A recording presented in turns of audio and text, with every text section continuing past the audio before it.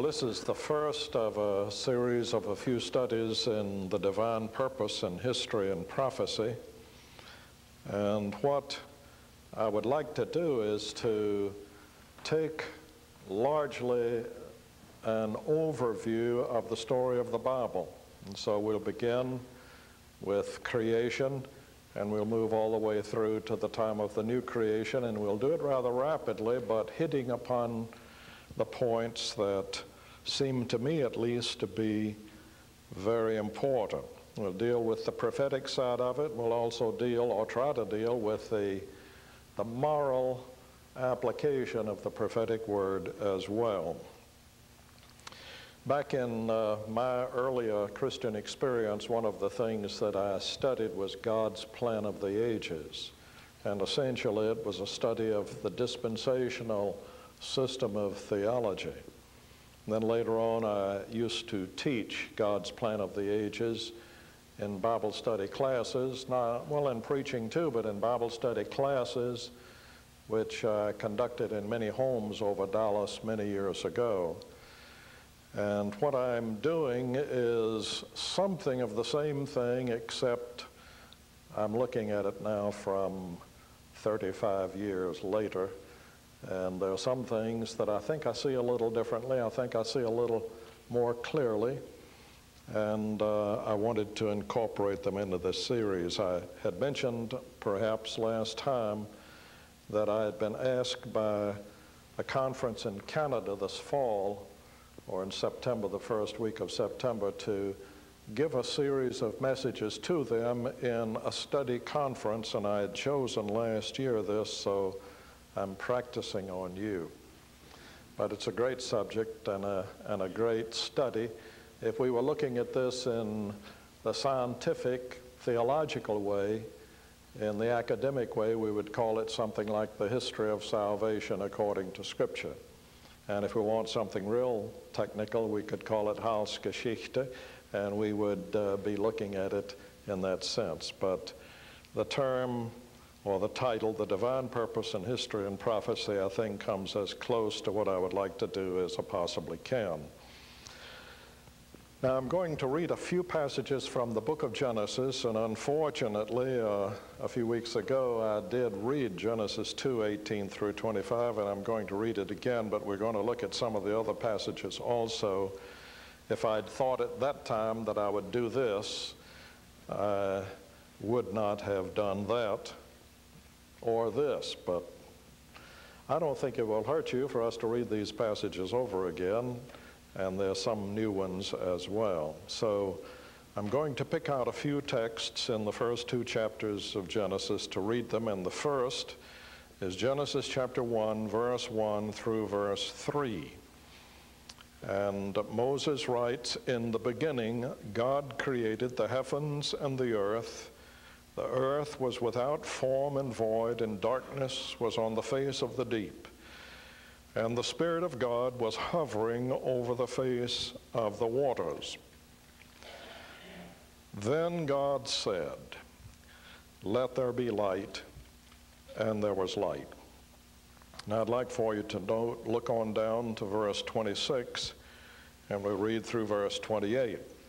Then God said, Let us make man in our image, according to our likeness.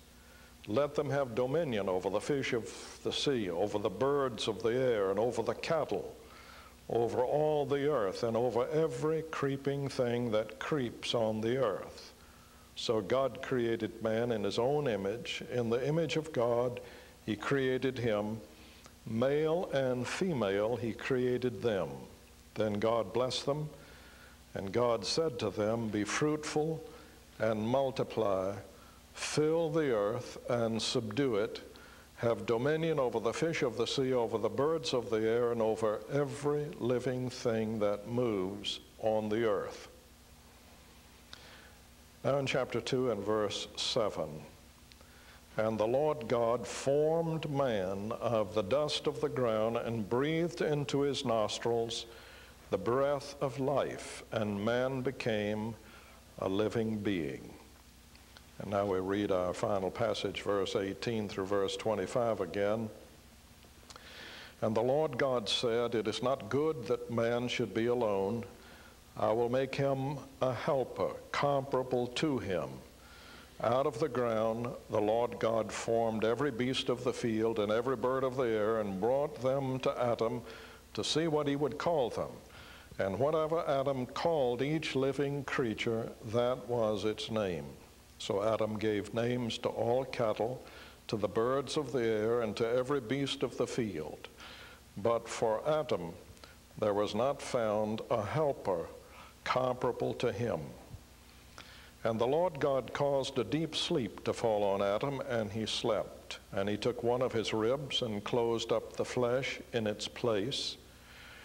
Then the rib which the Lord God had taken from man, he made into a woman, and he brought her to the man. And Adam said, This is now bone of my bones and flesh of my flesh. She shall be called woman, because she was taken out of man. Therefore, a man shall leave his father and mother and be joined to his wife, and they shall become one flesh. And they were both naked, the man and his wife, and were not ashamed. Well, the question with which I would begin is the simple question Is there such a thing as a divine purpose? In reading the Bible, can we prove or can we be reasonably certain from the Word of God that there is such a thing as a divine purpose. Because if we're going to talk about the divine purpose, we ought to have some biblical justification for it. And I do think, of course, that we do have that justification. And one of the passages that I think makes it plain that there is such a thing as an eternal purpose is the statement that Paul makes in verse 11 of Ephesians chapter 3, where he writes, according to the eternal purpose which he accomplished in Christ Jesus our Lord. One might also ask, well, what is involved in the eternal purpose, if there is an eternal purpose? Well, looking only at the epistle to the Ephesians, because the answer to that question would involve the study of the whole Bible, we can at least say something like this. In chapter 1 and verse 4, he has written, just as he chose us in him before the foundation of the world, that we should be holy and without blame before him in love.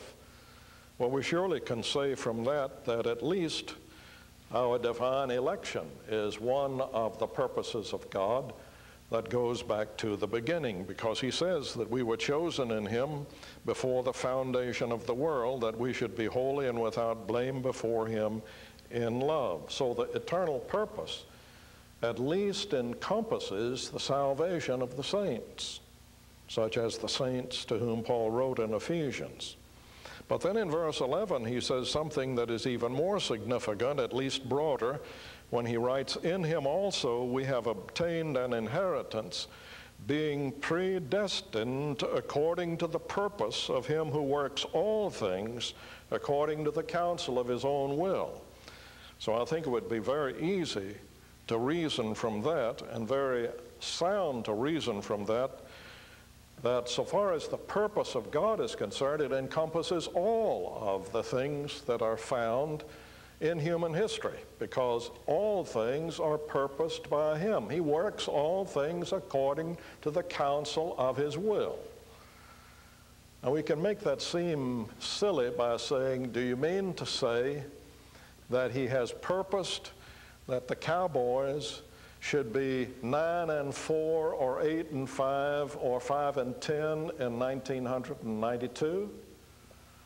Well, if you want to be silly, I'll be silly too. Yes, that's encompassed within the purpose of God. It's encompassed within the working of all things according to the counsel of His will. But of course, it's one of the things of great insignificance. That may hurt some of you to say that, hurts me probably more.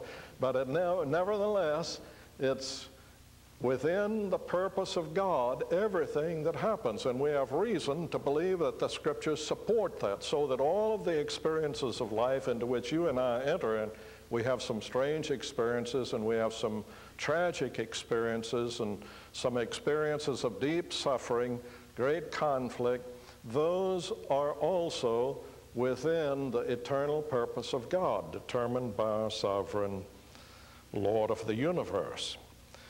Now, the scriptures begin the account of the story of it, its Heilsgeschichte, to use the German term for history of salvation, with creation. The creation of the universe, the creation of man, and the creation of woman. Events that have become big again even in the last few weeks. Events that uh, have become so big that Calvin, not the theologian, but the outrageous child scientist of the New Age, calls the events that have happened the horrendous space kablooey. That's for the Big Bang. And we've been reading about the Big Bang or the horrendous space kablooey, as Calvin of Calvin and Hobbes says. I was reading last year, I believe, an article by one of the men who writes regularly. Well, it wasn't last year, I take it back. I was reading this magazine, but the article was about 10 years ago, written by Russell Kirk, and it had to do with creation. And Mr. Kirk, who has written often on conservative matters, wrote about his own evaluation of Dr. Stanley Jaki, one of the outstanding scientists of that particular study. We'll talk about that as kind of a philosopher of science. And Dr. Jaki had made the point that, so far as we can tell, what we call creation did occur. Now, our society is usually exposed only to the musings of Carl Sagan and consequently the pictures that he draws or the things that we see. And so we don't, as a society, have a very deep knowledge of the things that have to do with the philosophy of science and the things that science has to do with. William Buckley wrote not long ago in our paper regarding graphs, and I suppose it would apply to other things by which we are given visual pictures of important things I remember a very brilliant professor who once said to me, No proposition is so simple that it can't be rendered unintelligible to me by putting it on a graph. So it's a warning to us not to believe all the pictures that we see and the graphs that men draw because they don't necessarily tell us what the truth is. Well, anyway, Mr. Kirk concludes his article with these words This earth of ours is not a meaningless trap but instead a home designed for human beings by their Creator. One must first say Creator in order to say cosmos. Dr. Jaki concludes in his most recent book. I, that Creator, created even Carl Sagan, though Lord knows why. So Mr. Kirk says. Well, to study the biblical view of the divine purposes, we have to begin with the creation account in Genesis, because that's the stately portal to the superb structure of Holy Scripture. It's the seed plot of the Bible. It's one of the things that we tell all of our beginning students in Bible study. We're going to turn to the book of Genesis. It's the seed plot of the Bible. And it truly is. In fact, almost all of the great doctrines of the Word of God are found right there in the book of Genesis.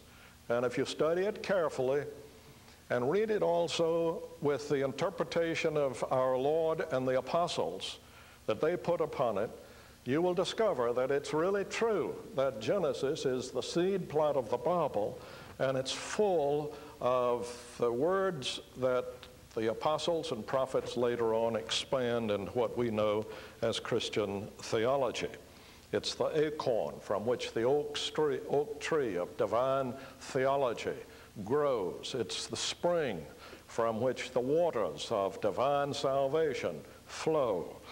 And so we're turning to Genesis and we're going to look briefly at the three things the creation of the universe, the creation of man, and the creation of the woman.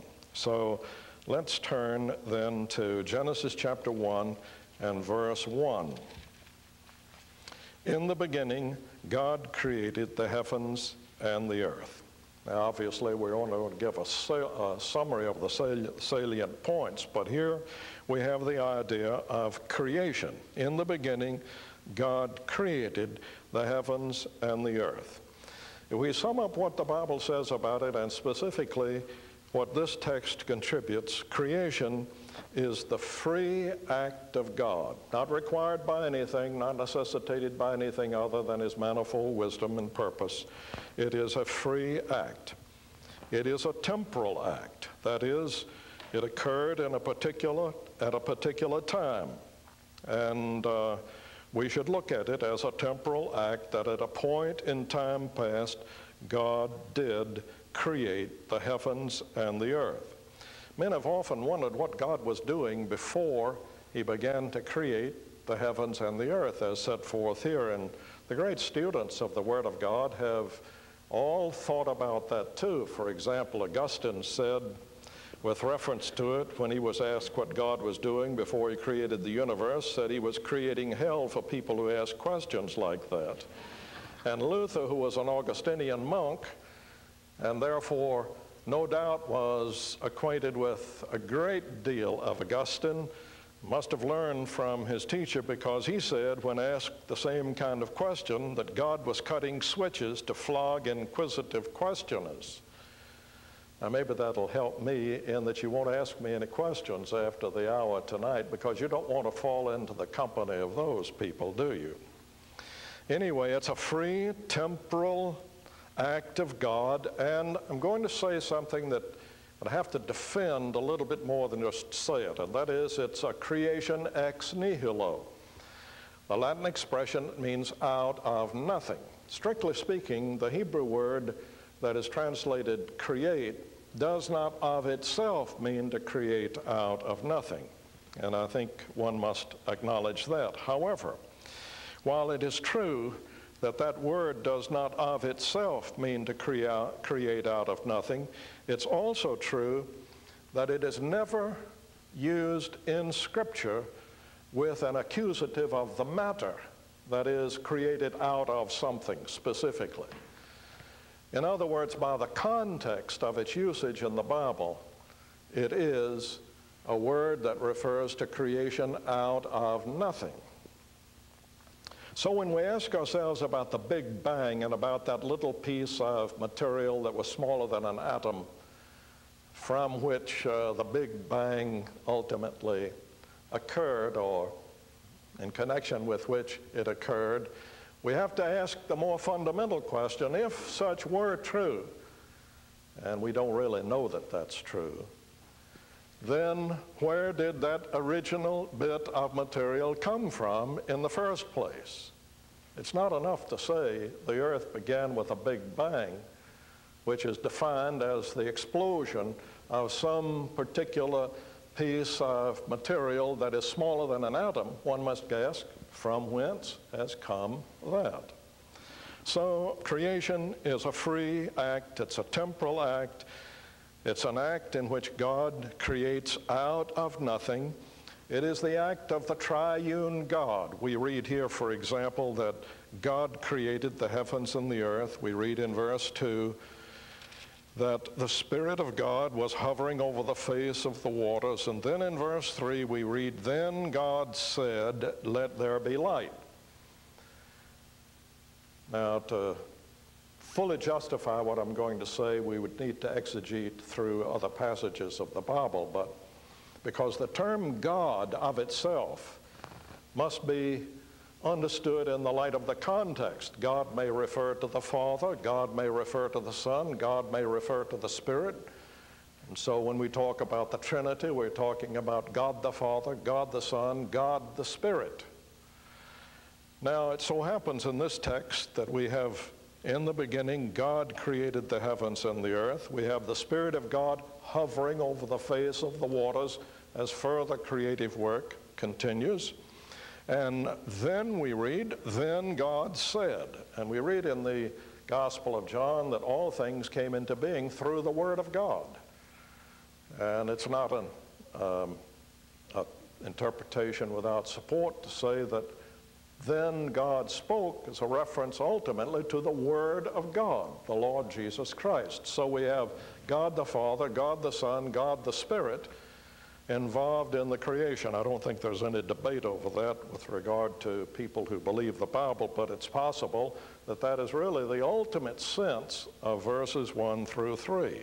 It's a triune activity in creating, and of course, it's for His glory, and it issues in dependent yet distinct beings. Dependent in the sense that every created thing or person is ultimately dependent upon God.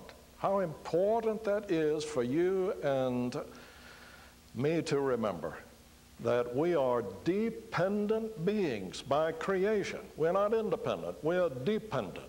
We're dependent upon God, and ultimately our true freedom lies in our recognition of our dependence and our service of the Lord in our dependence. Not independence, dependence. That's what we are. So, what we have then is a unique activity on the part of God, the act of creation.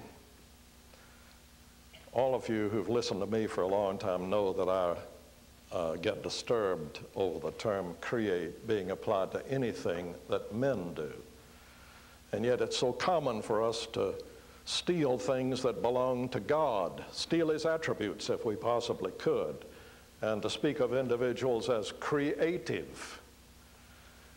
Well, what we really mean if we're opposed by a theologian ultimately comes out to be a kind of original thinking sort of guy. It's probably true that not a person in this room has ever created anything. I have a story of a professor of philosophy who shouted at one of his pupils, You have no imagination, you can create nothing.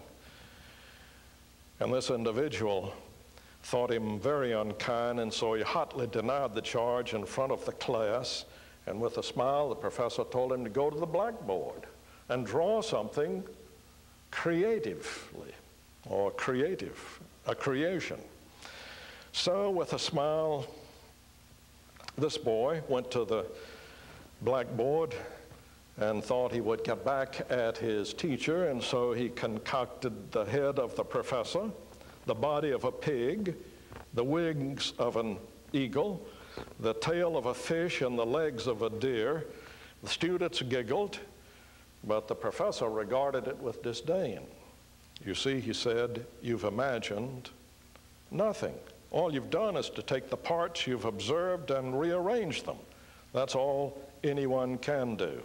Only God creates, man rearranges. Well, I think that's the sense of this text when we read in the beginning, God created the heavens and the earth. It was something absolutely unique. Not like Rembrandt, Rembrandt's Night Watch, which is unique among other paintings, but not really ultimately unique. Not that, but even more. Now, the theories that have to do with creation will pass by. You're familiar with dualistic theories. Any kind of dualistic theory denies infinity to God because if there are two infinite beings, there's a limitation on one of those beings or both of them, and so one cannot say he is infinite or unbounded. That's why the Christian church has never followed any philosophy that embraced dualism, because it really is ultimately destruction of Christian thinking. Emanations, evolution, all of those things the Christians have generally abstained from, and some of them necessarily abstain, abstain from. So, the idea then of the creation is that God has created the creation as a triune act freely and individuals who are created are dependent upon God. What we have is not the chance outcome of random movements of matter. Now, when we talk about uh, theories of creation and talk about science and philosophies of science, uh, most of us, or at least I, I, shouldn't speak for you, but I'm, i speak for myself, that uh, uh, ultimately I am lost because my training is not in that and I am unable to follow it. I read the time account of the Big Bang and even the account in Time magazine contains many things that I do not really fully understand, at least the words. So I must confess that I always turn to the book of Genesis with quite a sense of relief. And when I realize that this is divine revelation, then I have further relief. So the Almighty God, to sum it up, created ex nihilo the space, mass, time universe. Now, there are some creative transitions. If you will look, for example, at verse 1, we have in the beginning, God created the heavens and the earth. And then in verse 21, we read, created again. So God created great sea creatures and every living thing that moves, with which the waters abounded according to their kind, and every winged bird according to its kind. And God saw that it was good. And then the term bara, the word to create, occurs a third time, and only the three in verse 27. So God created man in his own image, in the image of God. He created him, male and female. He created them. So we have then uh, creation referred to in the three places and those specific places in which changes are described by Moses. Verse 1, we move from nothing to inorganic matter. God created the heavens and the earth. And then in verse 21, so God created great sea creatures and every living thing. We move from inorganic life to organic life, the great sea creatures. And then in verse 27, when God created man and woman, we move from the organic life to human life. So it would appear that Moses has used the term create in these three places with the definite sense of moving from one aspect of matter and life to another. Nothing to inorganic matter, inorganic to organic life, and organic life to man. So God created the space, mass, time universe. The emerging picture, then, to sum it up, is that we have moved from no, from nothing to the creation of the heavens, the earth, to male and female, and to animals and matter or the, the, all the kinds of matter that make up our world. The emerging picture is that we have moved from the pre-existent God of all to all of the history that arises out of what he creates in the creative the creation account. The person who is unique in the first chapter is the person of God. I, I didn't count twice, but I think about 35 times in this account, which ends in chapter 2 and verse 3, I believe, the term God is used about 35 times. He is the sovereign creator. And the thing that that one gains from just meditating upon that and thinking about what uh, Moses says about it is that there's a tremendous difference between God and men. We are not the unique God or the unique person that He is. We are craftsmen, but He is the creator, And the idea, if you reflect upon it for a little while, is a staggering idea, giving one of the reasons that mark the eternal, infinite God from you and me. Amazing. We don't create. We craft what he has created, perhaps, and some do it better than others. But that's all we are. There's another thing that appears, and that is that the God that Moses describes is an immanent God. For example, in verse 2, we read concerning the Spirit, and the Spirit of God was hovering over the face of the waters. That is a word that is used elsewhere in the Old Testament of birds hovering over their nests. And so the idea that emerges is of a God who cares, a God who cares for his creation. So he is the eternal, infinite God, but he is an immanent creator and a personal being. Now, what then has become of our world as a result of what God has done? If you think about it for a moment, you'll realize that what has taken place in Genesis chapter 1 and verse 1 is that He has created that which is now the center of the universe. This world of which we are a part is the center of the universe. Think of all the worlds that are about us in this expanding universe that scientists speak about so often. But the center of it all is this planet on which we walk. How significant that is. So, upon this small planet of the earth will be fought the decisive battle between God and Satan. We know, of course, from Genesis chapter 3 that there has been a previous creation. Job confirms it, that the angels were created and the head of the angels, Satan, were created before man was created, and the struggle because of the fall of the angelic beings has already begun. But now earth becomes the scene of the struggle between God and the devil.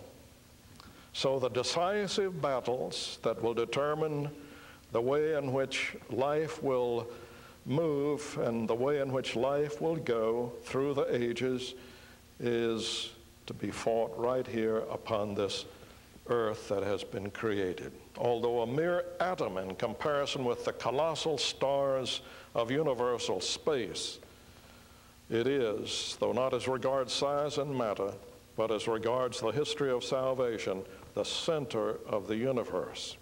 Erich Sauer says that in one of his books. On it, the highest presents himself in solemn covenants and divine appearances. On it, this little world of which we're a part, on it, the Son of God becomes man. On it stands and has now stood the cross of the Redeemer of the world, and on it though indeed on the new yet, on the new earth, yet still on the earth, will be at last the throne of God and of the Lamb. What a magnificent picture we derive looking at Genesis from the standpoint of the divine story that is to unfold. Now, we need to turn to verse 26 through 28 and verse 7 of chapter 2, and I'll you're familiar with 26 through 28, and we'll just look at Genesis 2 and verse 7, the creation of man. And the Lord God formed man of the dust of the ground and breathed into his nostrils the breath of life, and man became a living being. You get the impression when you turn to man that what has been given up to this point as Helmut Thielicke has often said, is like an overture. That is, everything in Genesis chapter 1 seems to be moving toward the creation of man. We all have great problems with men the tendency of people is to ask, ask the question, uh, Who am I? Man. Some of the theologians, incidentally, have pointed out that the question, What is man, is at the center of theological and philosophical concern. And uh, what is man has become almost more important than any other theological question. Uh, you know, I love uh, the comic strips, and one I miss is one that uh, was somehow or another uh, omitted from Dallas Morning News comics some time back. It was called Heartland, and there was a little boy called Dave Hart who was around the one around which the story moved. And uh, back in November of 85, uh, he is sitting in front of his family counselor, and the counselor is asking him questions. Dave, as you can, he's just a little boy.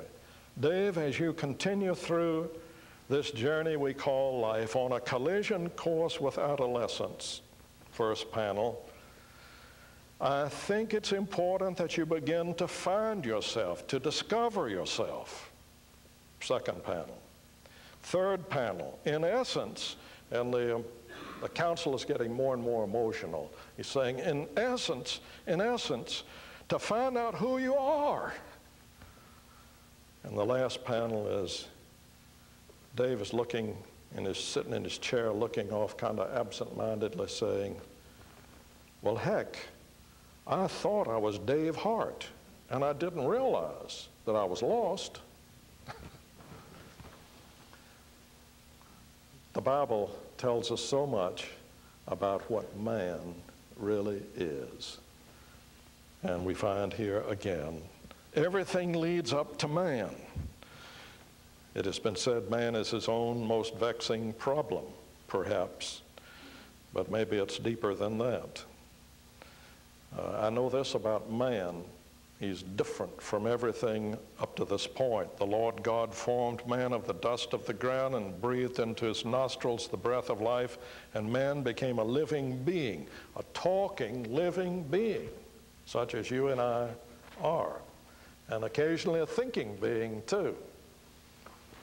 We are different.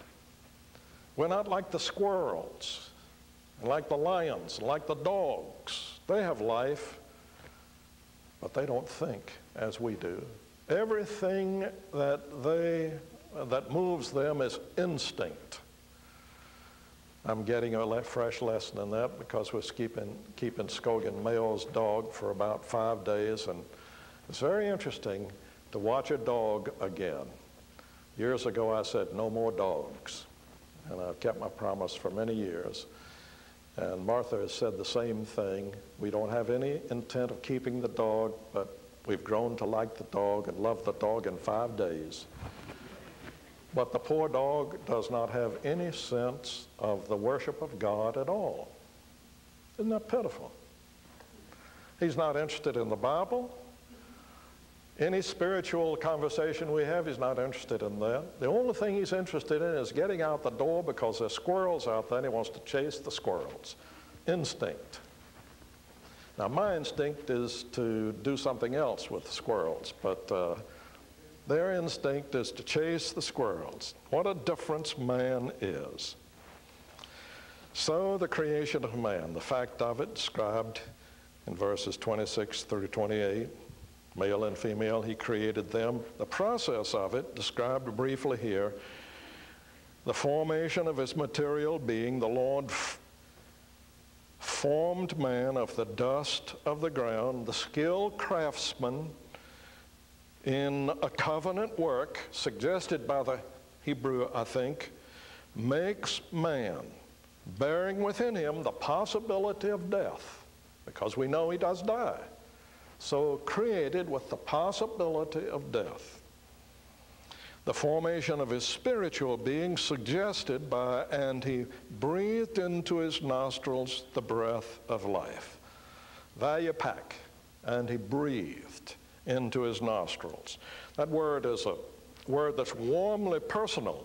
You can think of God doing this, breathing into his nostrils the breath of life, the neshama, the spirit of life breathed by God Himself into the man.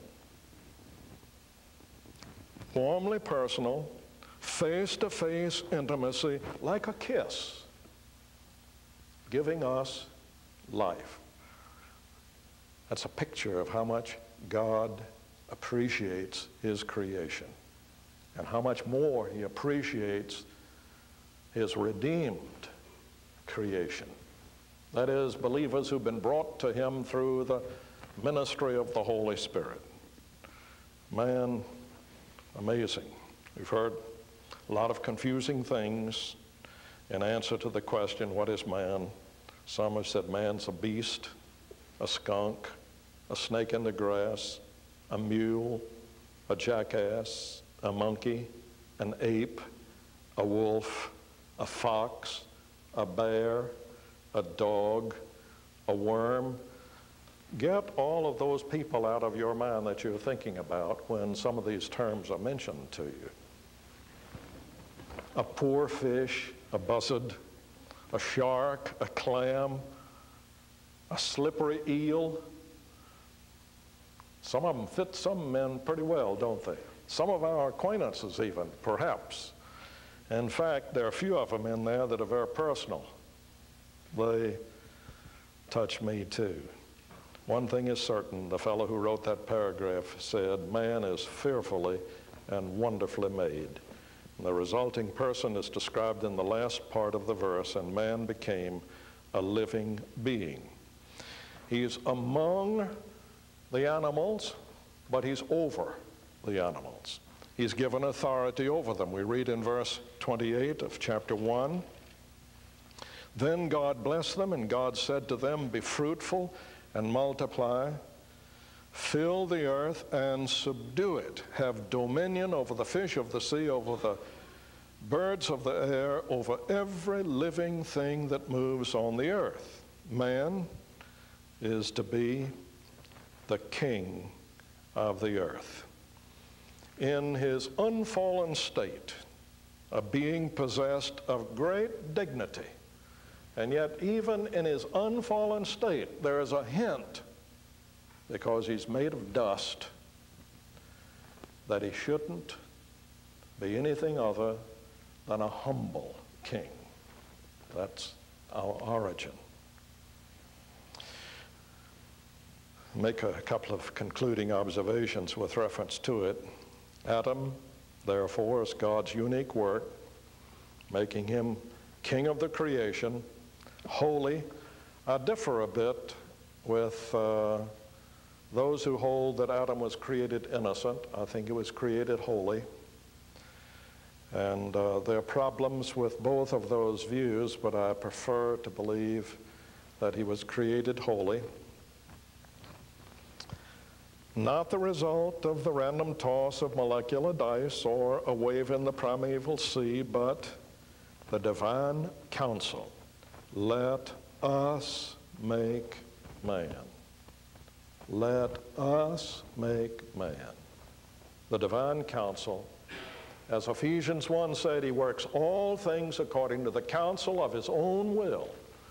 And so the creation is a purposeful act of the purposeful God the Father, or God. Now, the creation of the woman, since we've talked about that just recently, I won't say too much about it. It's a natural question to turn to the creation of the woman because we read in verse 27 so God, chapter 1, so God created man in his own image. In the image of God created he him. Male and female created he them. So after the creation of man, it's natural for Moses to take up the creation of the woman.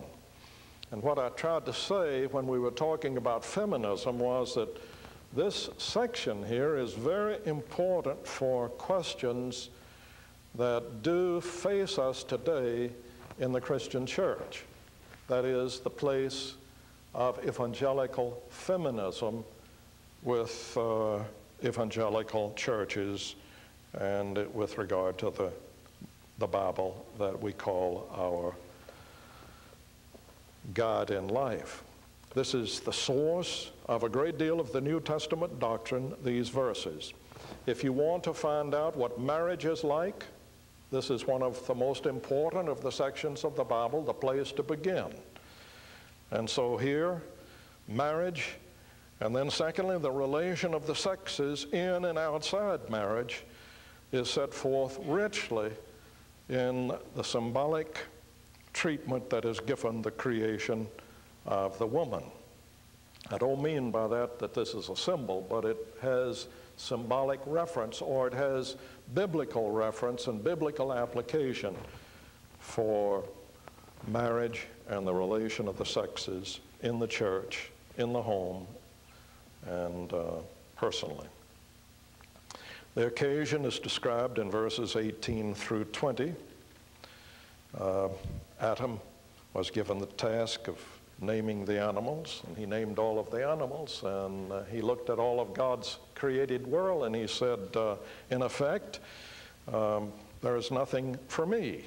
He's the monarch, but he has no mate among the animals. And so, what God does is to give him a spiritual helpmeet, a mental helper. We need, need that, don't we? And a physical helper. So a spiritual, mental, physical helpmeet. Lovely expression of the dignity of woman as created by God is that she is a helpmeet. I love the way in which uh, God does this too, because we read, and the Lord God caused a deep sleep to fall on Adam, and he slept, and he took one of his ribs and closed up the flesh in its place. So the very act itself suggests the unity of the race because Eve derives her being from Adam, not Adam from Eve. And she is created for him so the relationship is a relationship that suggests the unity of the race, the dignity of Eve, fashioned by. Now, there's some doctors in the audience, and uh, I have asked uh, one of them a long time ago to describe the way in which God did this in the way in which one might describe surgery now because it does appear it's something like surgery that God does because he calls, causes a deep sleep to fall upon Adam. And then he takes out Adam's rib and sews it up, so to speak, and out of the rib, uh, Eve is created. And this person said to me, Well, I guess you could say that Eve was fashioned by, quote, the divine diplomate of the Edenic Board of Surgery. That was the way in which he described it, because that's a kind of a title for surgeons to have the American diplomate uh, be a, a diplomate of the American Board of Surgery. At any rate, God is the divine craftsman, and in uh, what happens, there's a vivid portrayal of marriage as well because we read, then, then the rib which the Lord God had taken from man, he made into a woman, and he, God, brought her to the man. Now, I want you to know uh, it was a long time after I had married a lot of young couples that I made the connection between this last clause and he brought her to the man. It's amazing the things you can do and not really fully appreciate after you've done them a long time. But after this came home to me that what God is doing, He's acting. Well, we picture it in the marriage ceremony when the father comes down the aisle with his bride, with his, with his daughter on his arm, to give to the groom. What a beautiful picture of God bringing Eve to Adam. And so, ever since that time, when it finally dawned upon me, blind and hardened as my mind sometimes is, marriage has meant a lot more to me as I see a bride coming down the aisle on the arm of her father, and I'm thinking, and he brought her to the man. Marriage is surely something that God, in His manifold wisdom, has given to us. It's something to be appreciated. It's something to constantly thank Him for. It's something that our society has lost a great deal of touch with. And I'm afraid that the ideas found in the Word of God would mean an awful lot to our society if they only knew them. At any rate, Eve was fashioned, brought by God Himself to Adam. If you think about it for just a moment, Eve's life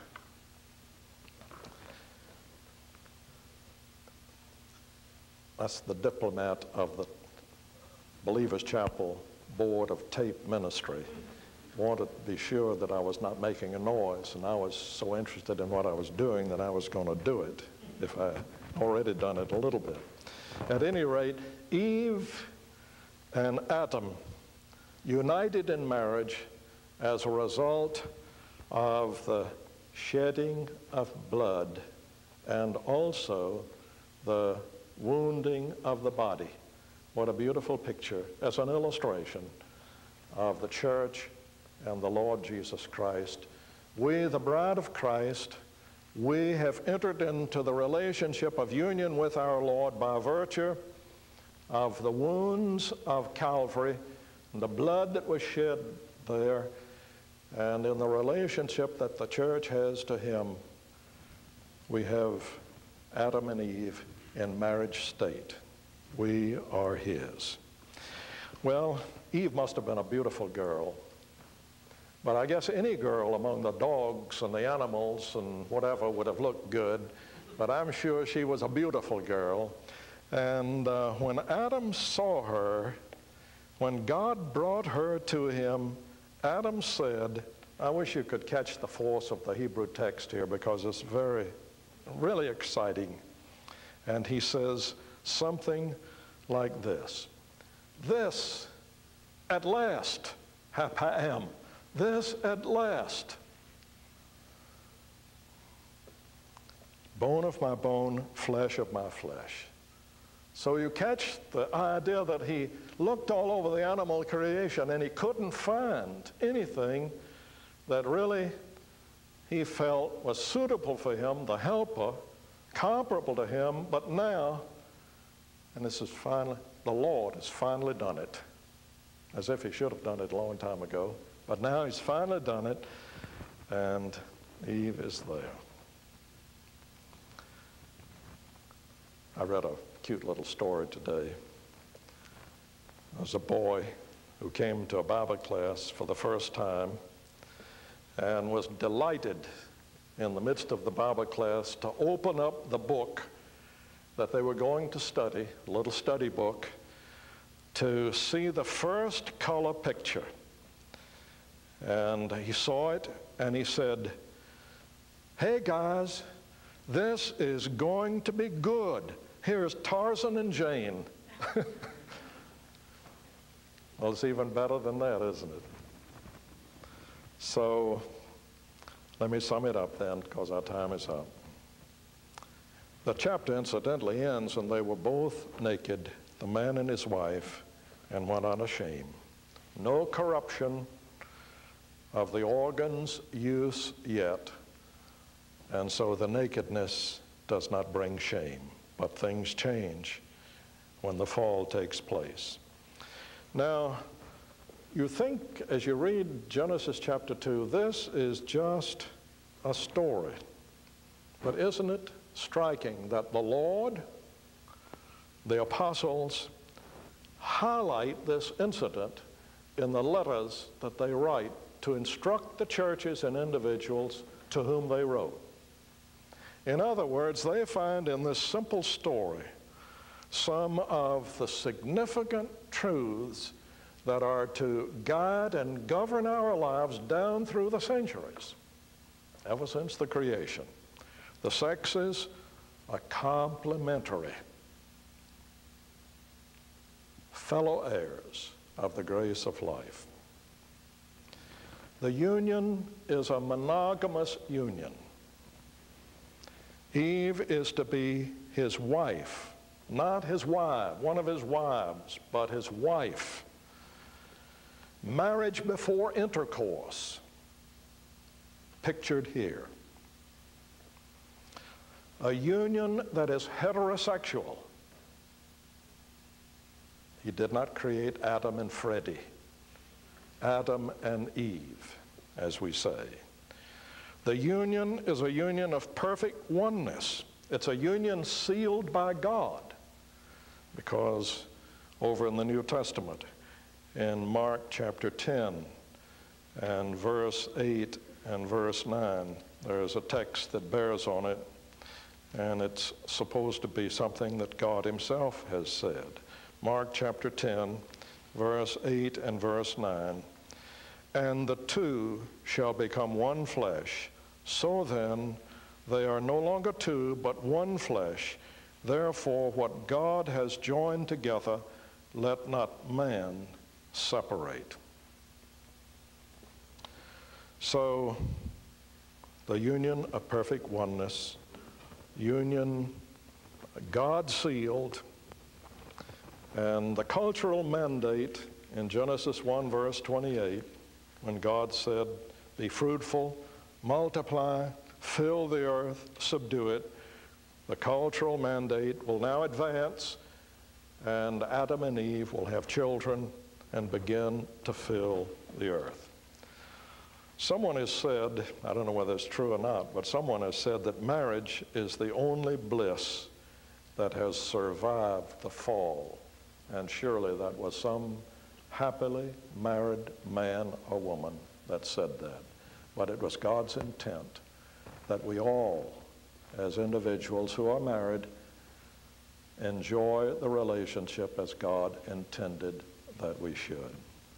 Well, this is the way God's plan of the ages has its beginning in creation. And in our next study, we'll follow along as we treat the divine purpose in history and prophecy. Let's bow together in a closing word of prayer. Father, we are so thankful to Thee for the Word of God and we know, Lord, as we read and ponder it, that this word is inspired of Thee. It has ministered to us as only an inspired word could. It has ministered to us the infinite joy of the knowledge of the Lord Jesus as the Savior of sinners. And in that company we surely belong. We thank Thee for the Holy Spirit who has brought us to the knowledge of Him. Help us, Lord, to be what Thou didst intend for us to be by creation and now through redemption. God, and direct us in our studies together for Jesus' sake. Amen.